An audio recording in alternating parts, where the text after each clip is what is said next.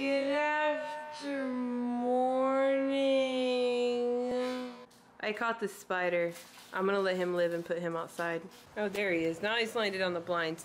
Man, I failed to get rid of the spider. Here, I'm just gonna close this. Uh. Now you have no choice but to go outside, sir.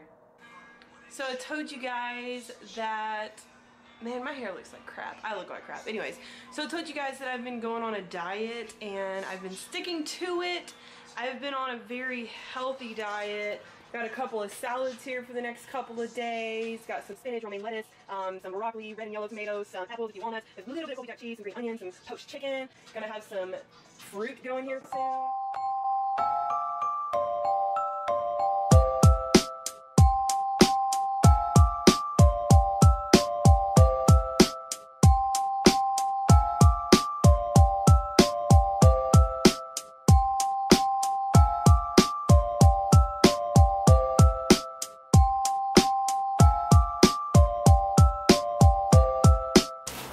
So I'm gonna call this one girl, one oil change. And I'm gonna change my air filter. I bought one of those because it wasn't looking so hot yesterday.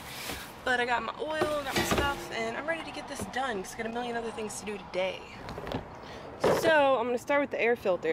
Yesterday I pulled the air filter out and I vacuumed it out because there were like a lot of dead bugs and leaves and stuff. So it's not gonna look as bad today, but it's still pretty dirty and it needs some loving. Look at the difference how much prettier that one is. It's weird how this one's 22 bucks and this little one's seven. Or, well, actually eight. $22 for five or $8 for one. That's weird.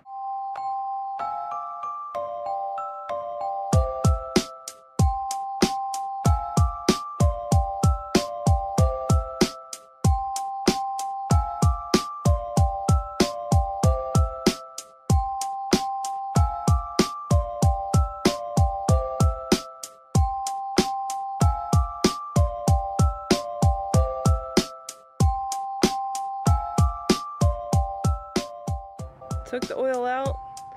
Time to put her back in. Got the new filter on, got the plug nice and tight. Time to get her running.